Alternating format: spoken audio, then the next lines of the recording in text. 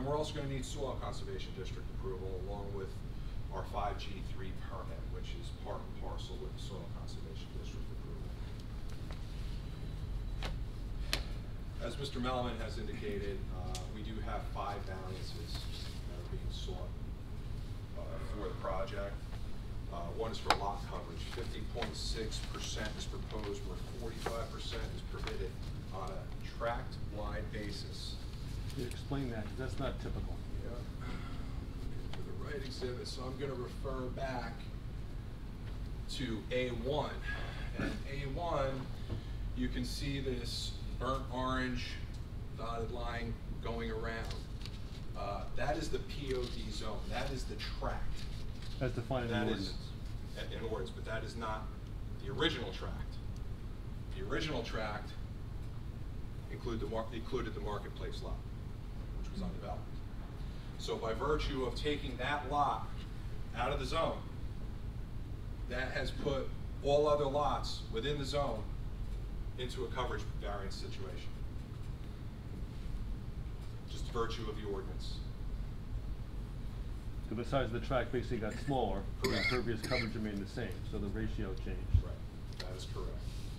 Uh, The second would be for the maximum building elevation of 375 above mean sea level, where 379 is proposed. The building that we're proposing, if I go back to a four, is roughly 14 feet in height. It puts us four feet over the allowable with regard to that. We're in an elevated area. Topographically, this area does slope up. We have tr- mature trees all around this site that are seventy to eighty feet tall. So this building will not be extending above those tree lines. It's not gonna have a visual impact, uh, from areas surrounding it. And I'm not the planner, I'm just kind of giving you a little prime. Mr. McDonough is gonna clean this up. Uh, also, um, for, we're gonna go back to A three. On A three, we have a two hundred foot buffer along the residential zone. Uh, we are respecting the buffer in its entirety along the single-family homes. The relief we're seeking is from the municipally owned properties, namely, uh, block four-two-one, two-five-point-zero-one, and lot two point, uh, lot twenty-six. Uh, these are Green Acres properties. Um, but however, there's no impact to the surrounding residential properties. And then also the pro- proposed disturbance of steep slopes. Uh, the ordinance permits fifteen to twenty, on, on the range of fifteen to twenty percent, thirty-five percent of those slopes may be disturbed.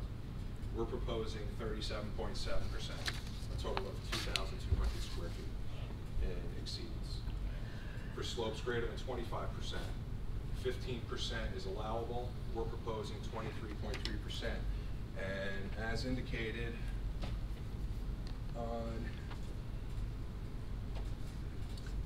A two, a majority of these slopes occur along the, the northern portion of the eastern parking field for the existing office building. And as I indicated before, these are man-made slopes. When that lot was put in, that area was cut down. Could you perhaps with your finger just trace the limit of disturbance? You really can't see it from here, but just to identify to the board what's disturbed and what's not. Okay, so if we, I'll start Just to at watch the your, corner of the watch property. your notes in front of you, you're blocking the view, there you go. Sorry. Start at the corner of the property, it goes along, coincident with the northern property line to the skate park. And then it comes out and around. And comes back in, where this would be, this is a slope, this is a sloped area behind the daycare center, the daycare center is right here. And then it comes right back along this curb line. And this limited disturbance is just for trenching a storm sewer pipe and for the driveway improvements. So the large dark green area, kind of at the elbow, if you will, is not going to be disturbed, is that correct? Right here? Yes. No, that's not gonna be touched. It's, it's, we're just, we're touching it. Okay. And there's one other variance, I believe, for signs, is that correct? For signs, and that, that's, that's for the five directional signs where you're allowed one for four square, uh, one sign that's, can be four square feet in area. Can I ask a question? Um, are, is the daycare center having its own freestanding sign or monument sign out on, uh, two oh two? Yes, it will, and the detail will be provided on the plans, it's not currently on. Okay, cause you wanna add that for the number of sign variances, That's a cause good that, point. that's a different, Do you know that's where that another would be? variance. That sign, uh, bear with me, going to A three, you know, um, the sign will probably be adjacent to the driveway on the south side, because the north side there's a detention basin. For, just for number of Just signs. the number of signs, thank you. Isn't the flagpole considered signage? No, right now in the, I'm the zoning officer, I'm Oh. sorry. Um, and I know Susan asked that. We, we ask in the zoning department for you to get a permit for a flag, but we don't count it towards your allotment because the ordinance, that was never in its intention. Thank you. No problem. So, six signs. Okay. I have no further questions of the witness. All right, um, at this time, I'd like to ask, uh, our board engineer if he had any, uh, questions for the witness. Yeah, two questions. Um, the additional parking lot that's located, you know, east of the existing parking lot. I noticed that it's set back rather far east. Uh, it's not adjoining the existing parking lot. I mean, what's the rationale? Is it- There's, there's some equipment in here that we're trying to stay away from. So you, you, you can, you, you tuck it can't back. tuck it any Yeah. closer to the west? Yeah, Okay, exactly. all right. And then, as far as the, uh, playground area, it's a large expansive playground, I'm sure operationally it's needed. Um, what is the playground surface? Is, is it, uh, is it, uh, impervious, like a, like a carpet type of thing, or, uh, Turf. Turf, however, in our drainage calculations, I believe we consider it to be impervious, to be more conservative. Okay, so you pick up that, but it does, and it's, a, it's synthetic turf on a, a granule fill? Yes. Okay. And so there would be some percolation through that soil. I understand it's good, good existing soil there. They're A soils, man. We can't hold soil. any water. Okay. Uh, well, that's good. That, that, it has that turf that it would, it, it could have some, some, uh, permeability. Um, and you talked about, we talked at length about these basins. Um, you will revise the plans per, per letter with access points, uh, to get in and maintain the, the plantings in the basin, and you'll, you revise the plans Yes, the to plan- show the details of the uh, bioretention plantings within the basin. Yes, right now, it's just a wild seed mix, we have to add the woody vegetation.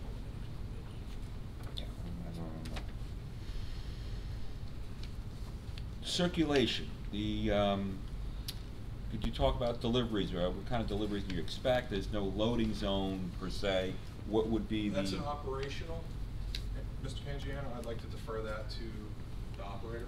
All right, as far as Frequency, circulation size. though, um. could you Circulation coming comment? around, we'll, we'll provide the templates for you, uh, which will also include refuse and fire truck, as they weren't, uh, weren't originally, pro- uh, provided. However, uh, I'll defer to the operator, however, I, I do not foresee large vehicles coming to make deliveries to this site. Okay, so there's a pull-up area, likely they'll be pulling up to the front of the building, all likely. That's all I really have. Okay. Uh, any members of the board have questions for this witness? Yes, I, I do. Hi. uh, first question is, are, you may not be aware, is the, the, the existing parking lot, my directions are a little off, but the, the one to, the one up and over, that one, has that been, uh, upgraded in any way since it was opened in nineteen eighty-six?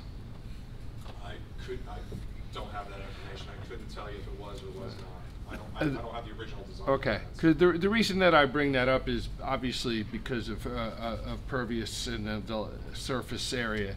And those old parking lots are, are, there's absolutely no, no way for water to get through them. There's, there's not even generally, even little, uh, little, little, uh, I don't know what you would call them technically, but, you know, islands where there's trees and plantings.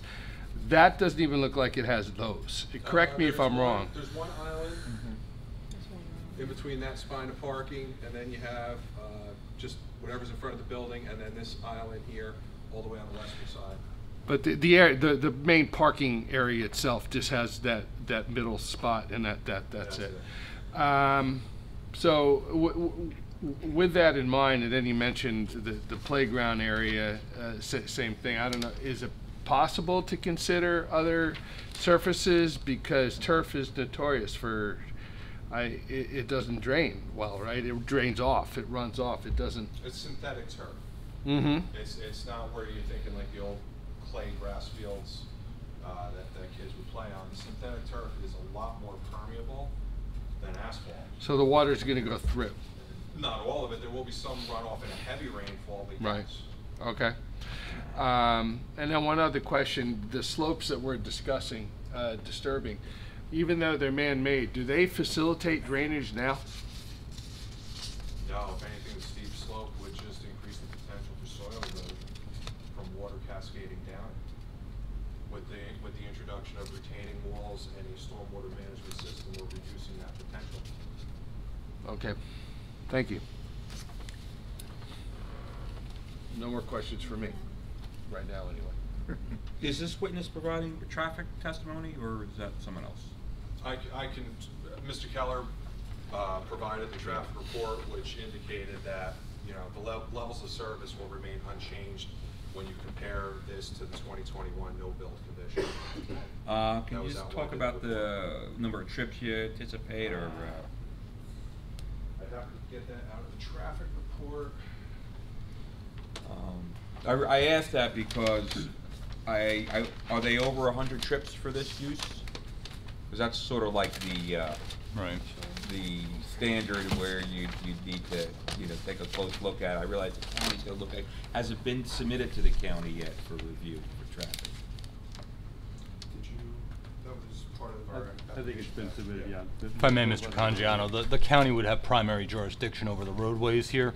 Um, it, you know, the board can't look at the off-site traffic, um, but while, while that might be a curiosity, it's, uh, It's under their jurisdiction. Yeah, No, understood, yeah. understood. If it was readily accessible, it's, it's okay. I know it's in the It's- report. No, I have it right here.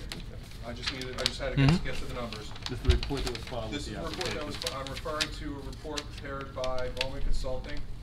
Uh, it is dated October twenty-eighth, two thousand nineteen, and looking at page four under site, tr- uh, trip generation, trip distribution. Uh, trip generation summary tabulates AM, PM peak hour. Table two, the proposed childcare center will generate hundred and thirty-six AM peak hour trips, seventy-two in, sixty-four out. And hundred and thirty-one trips, sixty-one in, sixty-nine out during the peak hour, PM. Thank you. yeah. Mr. Chairman, if I had Yes. a couple questions. Um, I had the exact same question as, uh, as Mr. Canjiano about that parking lot. Um, so the the equipment that's there that you don't want to disturb, what's the nature of that equipment? I'd have to defer to the property, owner. I'm not sure. I'm There's- just curious. There's, there's candy cane pipes coming up, there's, there's some other stuff Okay. over there. Uh, when I see stuff like that, it's, you know, You steer clear? sending a red flag to me. Okay. Yeah, because it just, in a perfect world, you, Understood. you It's- could just it's keep kinda going. tucked back. Right, with the But, bays that you are know, existing, but, What we've tried to do is, you know, kind of dress it up a little bit with some trees going down along both sides of the Mhm. driveway, so you only have that smaller break rather, rather than a wide swath. mm, okay. Um, you spoke about lighting, but, uh, I, I don't know if I heard you talk about any lighting on the building, if that's Thank you. gonna happen? Thank you, I missed that. Yeah. Thank you very much. I wasn't sure if I missed it. No, I did. Uh, The building, it will have code compliant lighting. Okay. uh, Over, over the doors and things like that.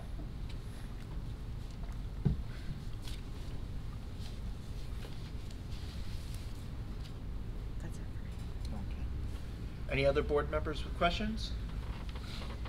Uh, I'm curious a, a little bit more about the bioretention basin. What other alternatives have you considered to accommodate the volume of water, or is that just the best option that? Well, the bioretention basin, there's, there's, there's two aspects of the bioretention basin that it serves. It- It's, it's for rate reduction Mhm. and it's for water quality. Um, You know, we're trying to push more towards the, more away from the structured detention basin, getting more into, Mhm. into that, the natural treatment. Um, on this site, we actually have highly permeable soils. And what happens is when we, when we run our calculation. Could you speak up, please? I'm sorry, because of the, the, the soil permeability, there's not that much runoff that comes off, which means we have to hold that much more back because we have to attenuate the flow. And what happens is because the soil is so permeable, it, you know, goes down. Our, like I said, we have spoken to Mr. Canjiano. Um, we both reviewed the BMP manual and saw there were some shortcomings in it, for lack of a better term. Uh, I think I'm putting it nicely. Uh, But, you know, uh, that's the, it- that's the best alternative that we could come up with. It's better than going with an underground detention system and a manufactured treatment you know, out of sight, out of mind. Mhm. This is in plain sight. This is something that will need to be maintained. You have that visual el- uh, element. It's a bit, bit more of a green infrastructure because with bioretention basins, you do get nutrient removal where you don't typically get that in manufactured treatment devices or sand filter. Yeah, I just make comment on that. In my opinion, it's one of the more greener type of basins you can use. It utilizes the uh, permeability. It has uh, a lot of vegetation in there for uptake and treatment. It's, it's actually one of the better choices you can use for, for an application like this. Okay. So I, I agree with the applicant on, on using this, this type of, uh, uh, you know, uh, bioretention basin. what storm, kind of storms are, is it sized for? You want? Go ahead. Five hundred years though. Uh, regulatory requirements require us to analyze the two-year event, the ten-year event, and the hundred-year event. And since we are a major development, we have to uh, have the applicable reductions, which means the two-year outflow has to be reduced fifty percent. The ten-year has to be reduced twenty-five percent, and the hundred-year, uh, storm has to be reduced, uh, twenty percent.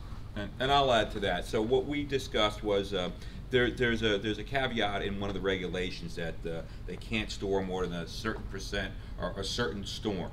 Um, they are storing the whole hundred-year storm.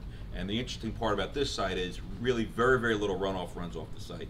And we don't want them to have more runoff running off than did Right. did before. So what they are going to do, they're going to expand the basin, they're going to lower the elevation of the basin, uh, expand the footprint that would promote more uh, infiltration into the ground, uh, put additional plantings in there. So I think we came up with a good, um, uh, a good uh, alternative and a good solution.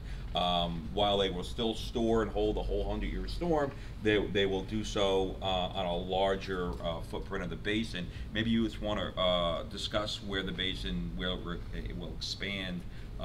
It's the basin near, to the south of the driveway, and they're going to expand that basin uh, closer Closer to the right-of-way. and then down toward the existing parking lot.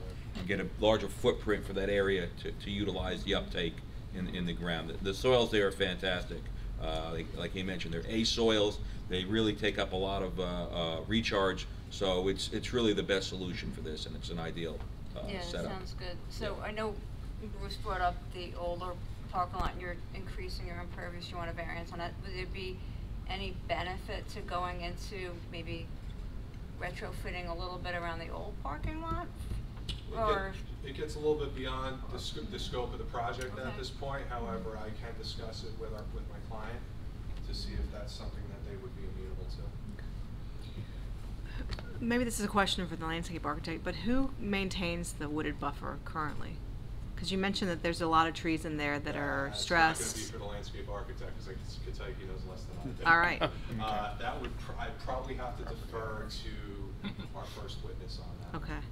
Because it, it sounds like there's some issues with trees currently, and it would be nice not to have future issues if there could be some sort of a maintenance plan perhaps developed for that buffer, so that it, it stays healthy, as healthy as it can. Right, and by, you know, by virtue of this project, we are going to help improve that. right. If, if the applicant doesn't object, I'm gonna create a condition saying that they'll put together a maintenance plan to the satisfaction of our board professionals for the existing trees. Any other questions from the board? Okay. Uh, I'll open it up to the public for questions of this witness. All right, seeing none, I'll close the public portion on this and uh, allow you to move on to the next witness. I'll call the architect, Mark Pavey.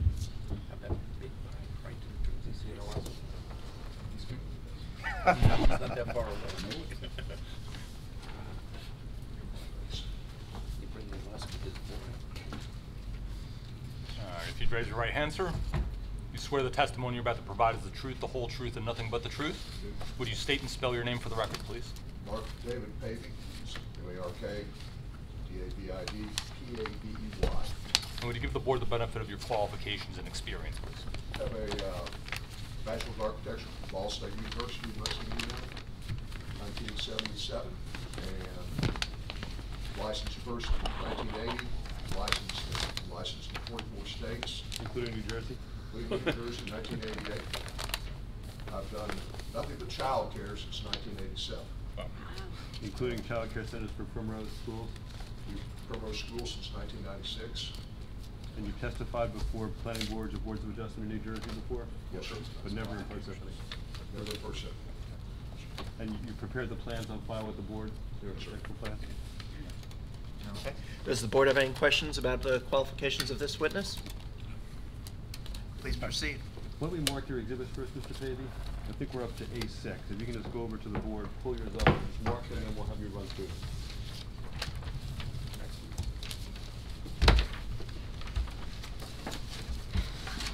We start with the floor plan. So A6 is the floor plan of the, uh, the daycare center. Do you have a pen marker, You just put A6 on there?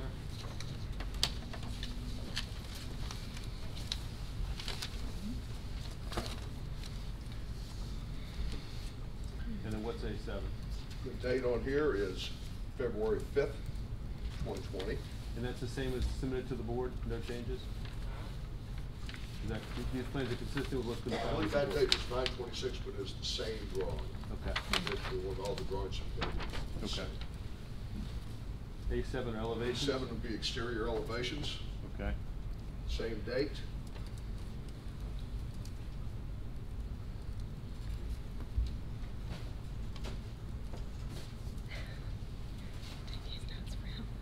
A eight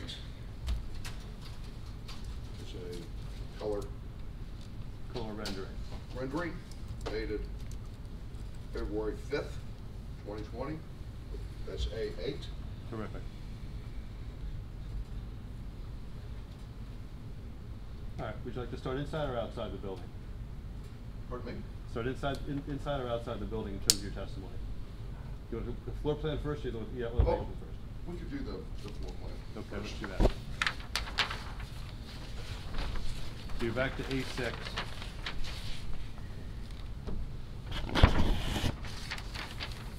You here? or just go- Gonna do that. I, uh, my, uh, So you can hold it. So you've got the elevations up there, why don't we just do that first? Oh, okay. So have a clear testimony here. So I'll just walk through. I think the board will like to know what the building will look like, what it's made of, how Okay. big it is, that sort of thing, and then what the interior's like, what kind of rooms you're gonna have in there. This building is, uh, designed so that, uh, to match the area of architecture. We, uh, each elevation has its, uh, there's no back to the building. It's a four-sided building.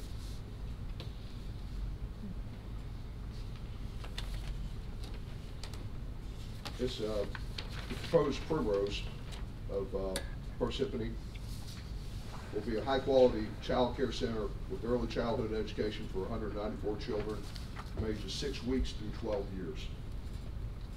They're gonna, they will employ forty-plus teachers and staff with a maximum of twenty-two teachers on site at any one time.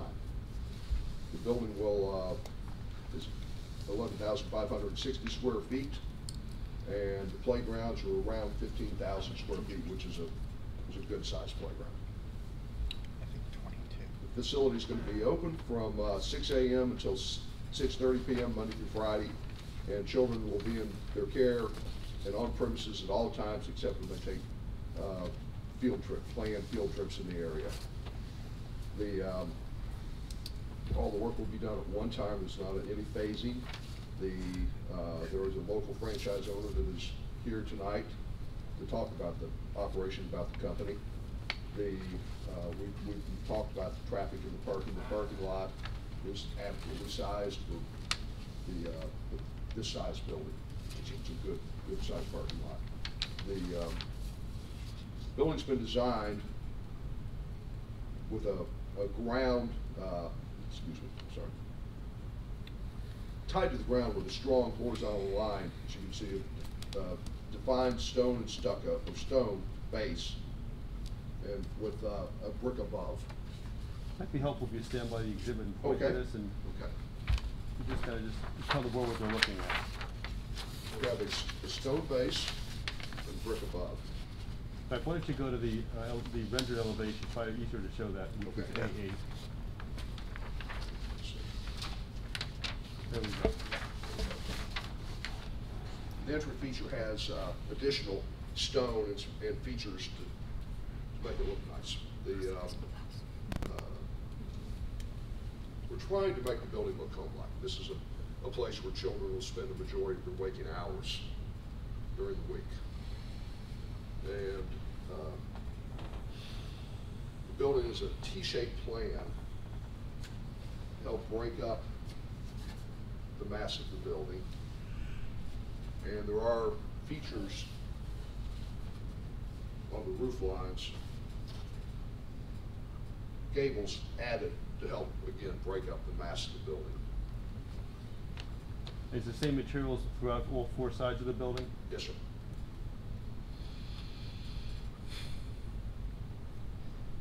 So we, uh, security is the top concern for Primrose. The security provided at the front, is provided at the front door, of course. And, uh, every child has to have, their, their parents will bring the child into the building and be checked in, and then they, they leave.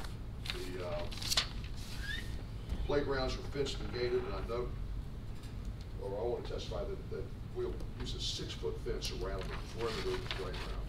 The six-foot fence will not, will, is the height that we know the strange parent can't come and snatch a child off the playground.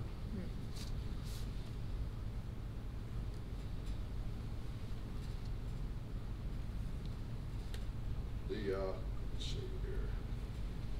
Why don't you just go, to let's go to the inside of the building, Let's just go walk to us the through the inside. floor plan. Okay. Classrooms are all what we would call a closed classroom. There are eleven classrooms. There's two infant rooms, a toddler room, toddler twos, two two-year-olds, couple two-year-old rooms, two three-year-old rooms, two four-year-old rooms, and then a, an after-school room.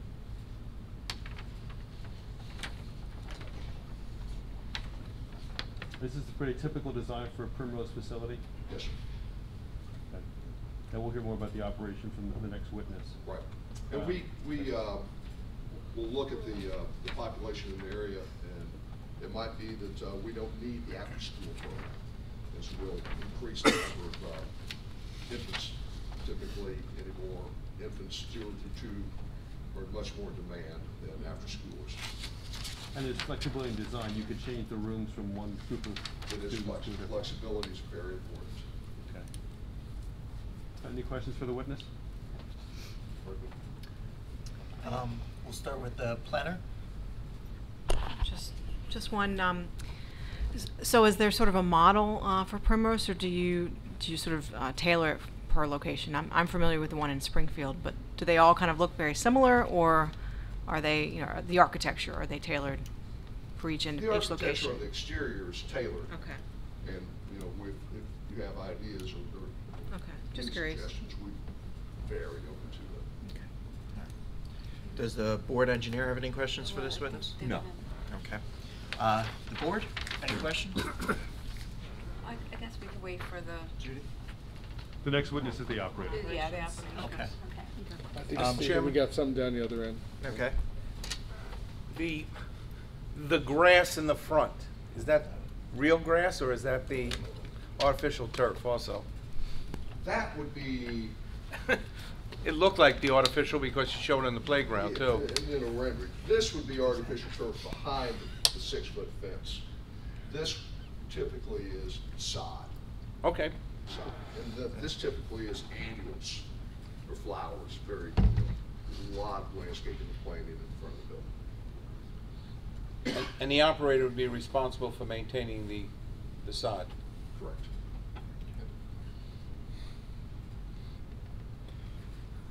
Any other board questions? I, I, I have a question about, uh, do you have an indoor recreation area of any kind, uh, planned? We do not. Okay. So the, the children would use recreation inside the rooms if, for bad weather and, And they'll go outside. whenever possible? Yes, whenever possible. Okay. Uh, any questions from the public of this witness? Okay, seeing no one come forward, Thank you. witness is ex- Matt Taylor. Mr. Melvin, this is the operator of the site, fact Correct. witness. And then we have uh, the planners, I'll ask them. Good evening. Good evening. You raise your right hand, sir. You swear the testimony you're about to provide is the truth, the whole truth, and nothing but the truth? I do. Would you state and spell the name, your, your name for the record, please? Matthew Taylor, M-A-T-T-H-E-W, T-A-Y-L-R. Your witness. And you're employed by Mr. Taylor? Set up here. Uh, I'm employed by Primrose Schools. Is I've this- been, I'm sorry, go ahead. sorry, I've been employed with them, uh, just over four years, uh, but I have about eighteen years of history with other childcare providers doing development as well. Very familiar with the product. What don't you tell us about Primrose, who they are, what they do? Are they in New Jersey, other states? Yeah, Primrose is actually based in Atlanta, Georgia. Uh, they've been in business a little over thirty years. Uh, we have a footprint of four hundred and thirty schools across the country. Uh, approximately ten in the state of New Jersey with about another four or five, including this one, uh, slated for the next two or three years in New Jersey as well. Uh, we look for markets much like, uh, Parsippany, where you've got, uh, educated population that's looking for, uh, early childhood education, education-based programs, and that's what we offer. So that's, that's really why we, uh, have targeted this area. So why don't you comment on sort of how the facility will operate? Who's gonna be in there, how the teachers, how many teachers you'll have, children, the typical day? Sure, so it's a five-day-a-week operation, uh, no weekends typically outside of an open house, um, or maybe a marketing event, uh, but it's very seldom. Uh, the capacity is hundred and ninety-four students at full capacity. Uh, that's, the building is based on, uh, a licensed capacity with the state, uh, Division of Child and Family Services. We'll have, if full capacity, you'd have somewhere around twenty-five staff on site. Uh, we run on average about eighty percent occupied in a, in a successful school. Is that's- eighty percent, eight zero? Yes, and that's a, that's a national average for us. Some schools have a wait list. some schools are a little less than that, but as an average, we're around eighty percent or so. Uh, we design our buildings for the convenience of the parents and obviously for the best, uh, environment for the children attending there. And the age range of children who will be in this facility? It'll be six months of age for infants to twelve years if we have uh, an after-school program. Uh, Mr. Pavey did mention that's sort of an influx thing depending on what's offered.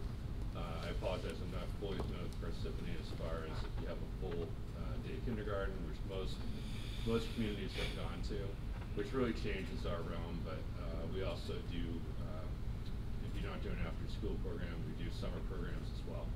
So a lot of those end up being attended by siblings of younger kids in the schools. But apart from the after-school, the typical age of the children who are in the facility, can you comment on that? Younger kids for the most part? Yeah, it's typically younger children, uh, pre-kindergarten children. And you saw the floor plan that was put up before. There's flexibility in terms of how they'll be used by the, by the by Primrose, depending upon who's there? It is, if we design, uh, a prototype for each state based on what our experience is in the state, uh, as far as how many infants we have, how many toddlers we have. We try to design the school where a child can start there and all, and go through, uh, different age groups and rise through the school. So the, the mix is somewhat even that way. Uh, we find there's a bigger demand in one particular age group, there is some flexibility in changing the floor plan around or how the classrooms are licensed to accommodate that. A lot of that's based on the local. You've heard talk about the playgrounds. Can you talk about how they're sized and what function they'll provide, how they're used? Sure. So as Mr. Pavey and actually the civil engineer had mentioned, the play areas surround the building so a child doesn't have to go through other parts of the building to get to their play area. They're, they're designed to be adjacent to the classrooms being served. They have age-appropriate equipment in them, depending on the age. They're separated for age groups because you don't want, you know, five or six-year-olds playing with smaller kids. So it's, it's really set up uh, per age group, and they wrap building that way, just like the classrooms do. Uh, there's a fence that keeps uh, the children uh, certainly in that area. I mean, they're supervised when they're out on the playground as well, but there's no way for them to get into the general public. Um, you know, six-foot fence is perimeter fence. Ms. Perry mentioned the security uh, precautions that are taken at the school. That's obviously an important part of the, It is, and it's become a, you know, an unfortunate, bigger paramount issue for uh, all child care providers. So we have a very, uh, a good program in place. The building is secured twenty-four seven. You have to have a code to get in, uh, not only to the vestibule, but also to the main area. and the parents will typically bring their child into the school. Yeah, the, the way the pickup and drop-off works, and I apologize if I'm repeating this unless you've gone through it yet, but unlike a day school, what we, a lot of us may have had, certainly I have it with my kids who are younger, um, it's not a situation where you have parents queued up to drop their children off or they're taken out of this car and drive off. You have to physically park your car, take your child or children out, bring them into the classroom, sign them in, you greet their teacher, you get back in the car. It's about a seven to ten minute process. Uh, parents get pretty good at it, depending on, you know, where they're, where they're trying to go, um, you know, get to work. Uh, we designed the parking lot areas and circulation to accommodate that. Uh, I know there's some discussion about how people are to come and go. Parents are, uh, they're pretty good about understanding the most efficient way to get their own children in, but also not to get in the way of others. So it's, it's a pretty significant community when it gets built. So, uh, they're trainable, I guess. And the parking lot design for this facility is consistent with other- other Primrose facilities. It's adequate in terms of its size. It's more than adequate. We have, More than adequate amount of parking. I have no further questions for the witness. All right, I'll open up to board questions. I do. Yes, sir, uh, you said Uh, that the. One, s- one sec, uh, Judy? Oh, okay. Do you do backup care?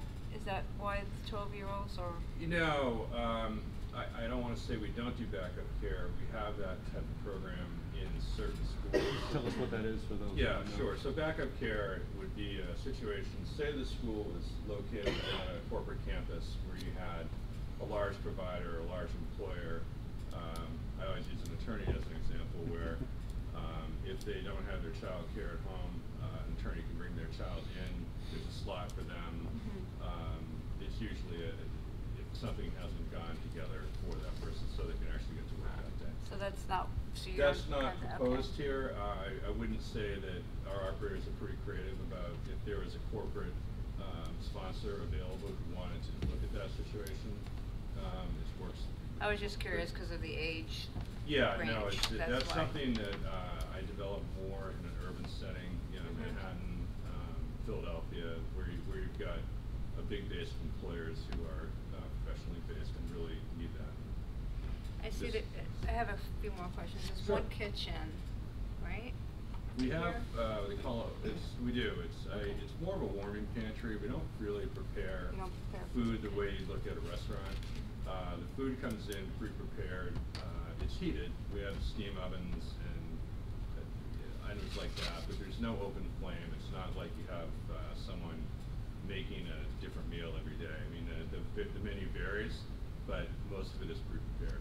So like infant room, if they have to warm the food, they go to the ki- they go to the. The kitchen has a full-time cook typically. Okay. Um, and they, they would provide food for each age group. The infants typically are gonna have their own provided formula or, uh, breast milk from their mother or from the parent, anyway.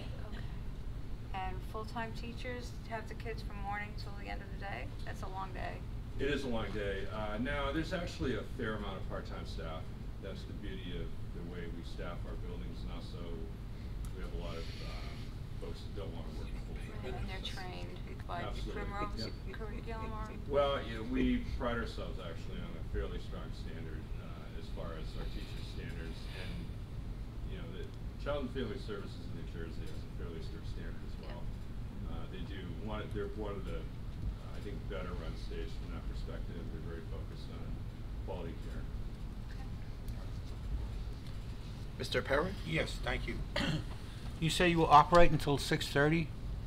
Yes, sir. And what happens after that, if the chi- a child is not picked up by a parent? It becomes very expensive for a parent. I can attest to that. No, Yeah. I can attest. Um, you know, again, I, I go back to the sort of joke that parents are trainable.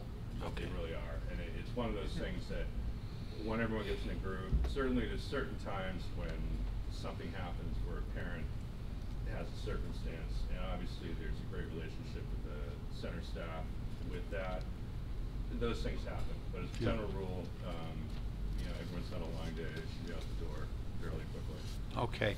Are the uh, teachers uh, qualified for the uh, grades they teach? Absolutely. Okay. And are they, te- uh, students tested after a period of time? You know, it- it's, we are not a certified curriculum with the state of New Jersey. Uh, we develop our own curriculum, uh, that is administered in schools. So there's not a, there's certainly, um, there's milestones, but I wouldn't wanna look, I wouldn't wanna say, uh, it's a testing situation like a grade four, five, six, or seven. It's, uh, it's really milestones that we set up in the way we designed our curriculum. We call it a balanced learning curriculum. Really gets kids ready for, uh, kindergarten and beyond. Okay, is there a nurse on duty at the time during regular hours? Uh, we don't have a full-time nurse. Oftentimes, many, many of the staff are CPR certified, uh, certainly the center director is as well. Uh, You, oftentimes you have teachers who are nurses as well, so there's, there's a, there's never an issue with that. Okay. So if there is a problem, then uh, uh, there's an SOP set up so that uh, someone with A- more absolutely. qualifications? And it, and we develop, uh, we, I'm not including myself in this, but the operators who are operating the school, um, the, the, one of the main people they develop a relationship with are, uh, life safety and fire, and of course, the police department, so they make sure they all know each other, and that, you know, first call is gonna be to nine-one-one anyhow. Um, but typically, we partner with the community where we can. All right, thank you. Any other questions from the board? Yeah, can you, just uh, a little testimony on the uh, deliveries, uh, the, uh, how often, what times, and and that, and that like? Sure, the deliveries can vary. Um, They're typically off what we call a standard straight job truck, which would be something akin to a larger UPS FedEx type truck. Uh, Once in a while, there will be a delivery off of uh, an eighteen-wheel vehicle, but they're usually off hours. And we are, you know, we- it's very limited, depending on what they're looking for. The food service is typically delivered off a smaller vehicle. And how often? You know I would have to defer to our operator in this region, who will be talking next. And I, I just don't wanna speak for, uh, how she operates the school. Okay, thank you. Can you speak to the ADA accessibility of the, of the building? Obviously, it's one story, but what about the outdoor facilities? No, we, we designed, uh, the building basically to be at grade with the site around it. Mhm. Uh, we, we meet all the ADA standards as sidewalk slopes. Um, you know, we certainly accommodate, uh, children with disabilities, and we keep that in mind. Um, What about the playgrounds? Uh, the playground structures are, are accessible to a degree, and I, Mhm. I will say it's out of my realm. Okay. Um, That's something that certainly our architect, Mr. Pavey, can answer better than me. Uh, but I know we have a lot of discussions about keeping up with, uh, being able to provide services to all children. Uh, How did you come in contact with this location? Well, we have a network of brokers um, that I work with, that my uh, business partners work with. Um, You know, we look at probably, I can eventually guess, a lot of sites here. And there's certain markets that we want to be in, and this is, this is one of them. Okay. So it really just came up through a brokerage opportunity. So you found this, uh, this landowner? Yes. Okay. Well, found, each other mutually, I guess. is the right word. Okay. Okay. Any other questions from the board at this time? All right, uh, I'm gonna ask we take Thank a. so much. oh, Public, public. Oh, I'm sorry, uh, public, any questions from the public? Okay. Uh, I think we should probably take a five-minute recess at this point. That's fine. Okay. Thank you.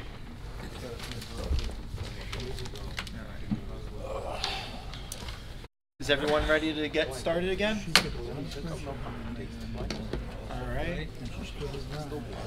Back on the record. Back on the record. All right. Uh, we have one more witness for operation. Care to swear the witness?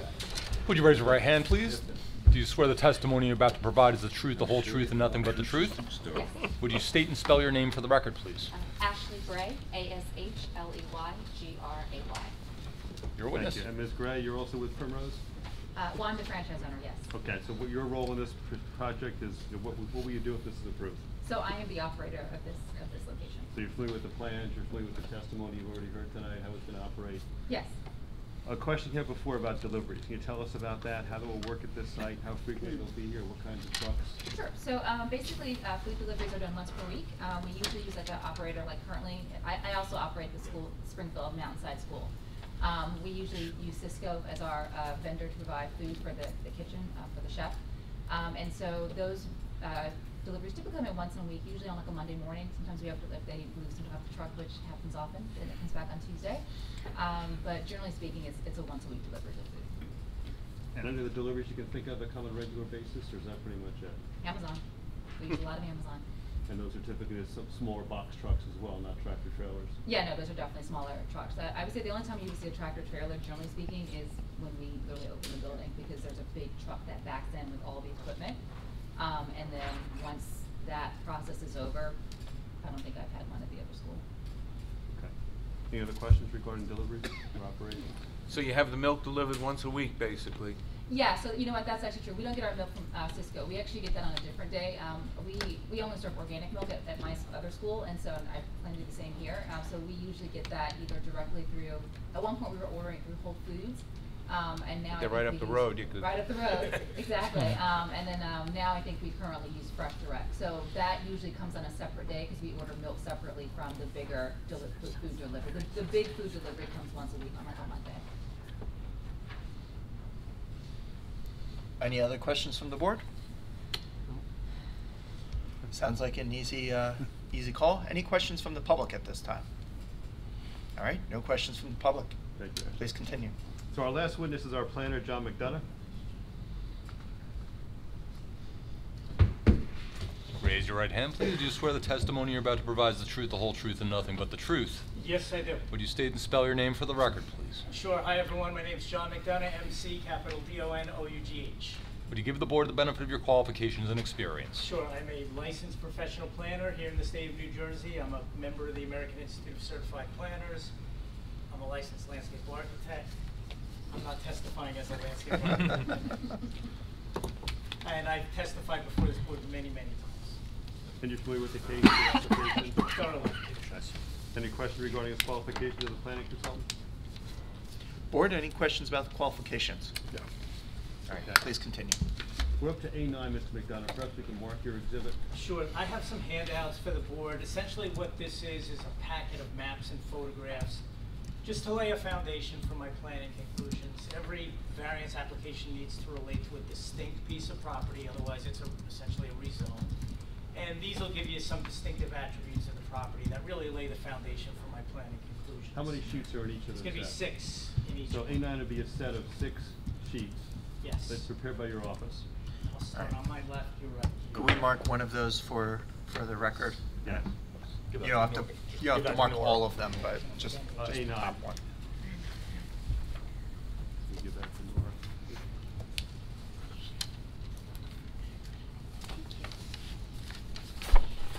Take them down, pass it around. Yep. Take them down. You want to put them in the photograph?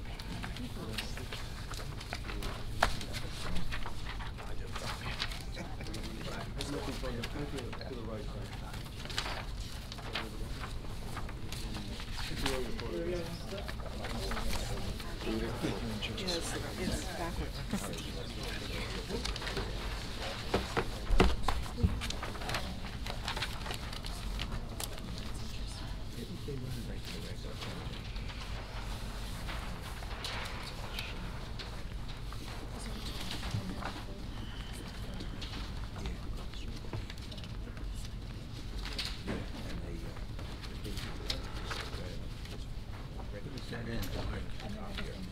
Okay, so you've heard testimony about the variances that are involved in this case. Perhaps you can run through what each, each one individually and tell us why you believe the board should grant the variances based upon the case the case. Sure. Five variances before the board. They're all relatively innocuous in consideration of the context that this site falls within. And just to flip you through the pages real quick, I, I noticed that to keep you on your toes, it's stapled in the upper right instead of the upper left, upper left. Uh, anyhow, we're dealing with a very large piece of property. We're dealing with a piece of property that, as we know, is already developed with an office building and part of an office complex. The land use that is going here is a land use many that we're seeing in a lot of the other office parks here in Parsippany. For example, we've got the uh, Bright Horizons over in the Cali office campus. We've got Goddard School over in the Mazda campus. So it is a land use that certainly is compatible with an office park type of development. And it's actually something that the zone plan, the POD zone that this application is in, actually talks about. And it's actually something that your, your brand new master plan talks about on page ninety-one as well. The statistics that you heard our applicant talking about at the outset are almost echoed number for number in the, in the master plan as well, in the twenty twenty master plan. And that master plan and those statistics offer a springboard for the applicant and the application that's before you, which is encouraging this type of an amenity on these type of campuses, given the pressure that they're under and the vacancies that they're under. So, again, you get a sense of the piece of property here on page number two. Physical build-out, and you do have a buffer system, which you can also see in the aerial photograph that the applicant has provided. I'll Stay close to the microphone. Uh, The wooded condition, which will come out in my ground photographs, which are fresh shots, will echo what you've heard the applicant's witnesses say. This is not a significantly healthy woodland. This is actually a woodland that's in poor condition. You'll see from my ground photographs, the vines that are there, the stunted trees that are there, and, and the pressure that this woodland is under. Importantly, there's sort of this notch that you see in the property, which is where the skate park is. That, as you've heard through your planner, that's a green acre, that's green acres land right there. It can't be developed for a house, so to the extent that the applicant is shrinking the buffer here, that it's not shrinking the buffer against what could potentially be a home. It is up against recreational land, which in and of itself becomes a buffer from the residential uses beyond. Importantly, as you heard from Mr. Gerentano's testimony, the buffer associated with the homes on Forest Drive is remaining intact. So the backyards that they presently enjoy will remain as is and as you see in the photographs on, on these pages. Page number three just shows the surrounding land use context. Red is non-residential, gold is residential, sort of at the cusp between the two. But again, importantly, we've got the nice green band in between that is going to protect this land use from that land. Page number four shows the zoning and the reason why we're here. We're in the POD zone district, where this is a permitted principal use. This is a, a use that is uh, allowed here in this zone district. This, this is an accessory use. I'm sorry, it's a permitted use, not a permitted principal use, correct. And we're adjacent to the R three zone where buffering is important, and again, the applicant has preserved that buffer adjacent to those string of homes that we see on Forest Drive. So the R three zone is the homes as well as the skate park, it's all the same zone. Yes, and that's the reason why we need the relief is because the skate park is still technically an R zone. It is not an, an open space zone, even though it is designated open space land. Frame number five is a fresh shot. I went out to the site this morning and took the photograph that you see in the first view. Getting on the skate park, looking back at the subject site, and you get a sense of the openness, the sparseness of the woodland, those stunted trees that don't have the expansive canopies, uh, and you can see the undergrowth there, the, the vines that are starting to grow up on the base of the trees as well. It is a lit park as well, so uh, again, to the extent that there are lights being associated with the subject development, you have even fuller lights, even brighter lights that are associated with the park. And then finally, the last page shows the reverse view, which is a look back at the site from the office development. This is sort of a remote location of the office development where those parking spaces are relatively far. So this is a nice land use that will set in its own space, separate and apart, yet easily accessible for the workers that it will serve here. With that foundation, we'll walk you through the five variances that the applicant needs. The first is a variance related to uh, the overall coverage. Mr. Gerentano gave you the practical basis for that, that when that Whole Foods development came in, a portion of the overall tract was carved out, which triggered this variance for essentially any development within the tract as it now applies. Whenever we're dealing with land use, and particularly this land use, we look at the application as a whole. And there's a case out there known as the Pullen case, which says when considering the benefits of the application, consider the application as a whole. And here we're dealing with a very specialized form of land use. It's as, as high a land use terms of the way the statute looks at it as any land use. There are 136 sections in the municipal land use law, and this is the one land use that has a whole section devoted to it. And the land use, uh, the legislature actually concluded, and, and the quote says, this is a land use of vital importance. It goes through statistics, and just to echo some of the earlier statistics, the legislature put this together at a time in the 80s when this was being developed, when recognizing that 50% of moms were entering the workforce. That's actually become even more important now because we're up to 75% of moms are in the workforce. So the land use continually gets more relevant and the statistics back that up. So all of the relief that the applicant needs ties to this beneficial land use. And if we were dealing with a use variance, we'd be dealing with an inherently beneficial use where the positive criteria are automatically satisfied. That said, this is a land use that is certainly going to benefit the workforce in the area and is also going to provide an amenity in this office park that we see in other office parks here in Parsippany as well.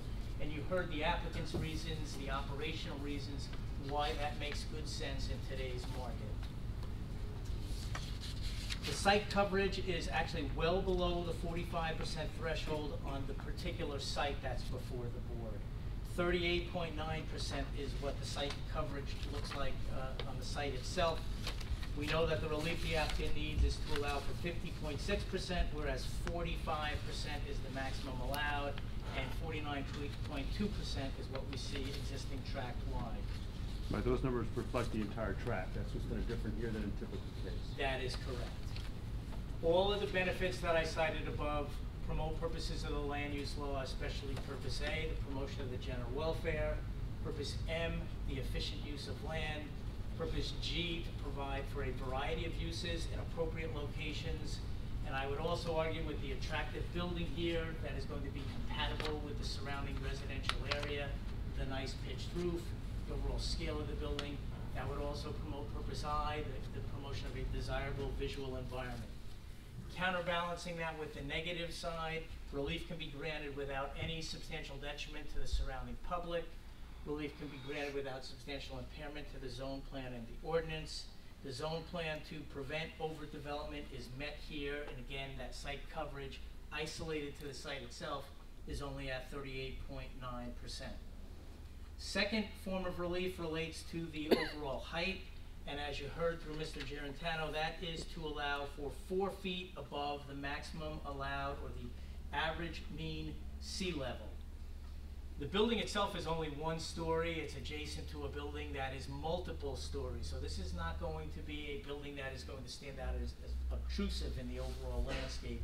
It's really related to its position on the landform itself. In terms of the flexible C balancing test, the relief only relates to the roof and the fact that we have that, that extra decorative component. If this were a flat roof, it would comply with the ordinance. The truss level complies at three hundred and seventy-two feet. To go above the three hundred and seventy-five foot threshold is to have that, that peaked reef, uh, peak, peaked roof. So again, the height relief is necessary to effectuate a beneficial use and to effectuate aesthetics, counterbalancing that with no substantial detriment to the surrounding public and no substantial impairment to the zone plan intent to avoid obtrusive structures. Third relief is for the buffer, and again, this only relates to the area associated with the skate park. Relief is mitigated by the incorporation of additional landscaping, and again, the buffer that's in place now is not serving any real practical purpose, given the physical condition of the buffer that's there. In terms of the balancing, again, all of the benefits that were cited above carry forth. This will effectuate a beneficial project. The buffer to the homes itself is unaffected and will remain intact. And the vertical separation, the differential in grade, makes up for that lack of horizontal buffer separation as well. To the extent, again, that relief can be granted without substantial impairment to the zone plan intent and the surrounding public. With respect to the slope relief and those two categories of relief that Mr. Gerentano spoke about, I think the board can move both under the C one hardship standard and also under the C two balancing standard. The hardship here, the practical difficulty, is that the slopes, the man-made slopes relate to the parking lot that was cut into the grade. So we're talking about a band of slopes that wrap around the drive, the parking lot that is now there and impacts any additional development on this particular lot, notwithstanding the development that's before you. So again, any land use, any additional expansion here would warrant that relief. In terms of the C two balancing, again, the relief here would effectuate this beneficial use with no substantially adverse or detrimental impacts associated with the disturbance of those man-made slopes. Finally, with respect to the signage relief, I would offer that that also passes the C two balancing test, whereby the benefit of clear and safe identification of the site, navigation aids will guide one through to the child care center and back out of the child care center. I believe that represents a safety benefit, again, without creating or violating the planning intent to avoid overbranding, visual clutter, or the like. These signs are going to be tasteful and blend very well with the overall landscape and office park theme. All said, this is a very positive land use application. It's recognized as beneficial in the statute. It's right on par with what's talked about in your master plan, and in that regard, I believe the statutory tests for relief are met and approval is warranted here. Thank you. Any questions from the board?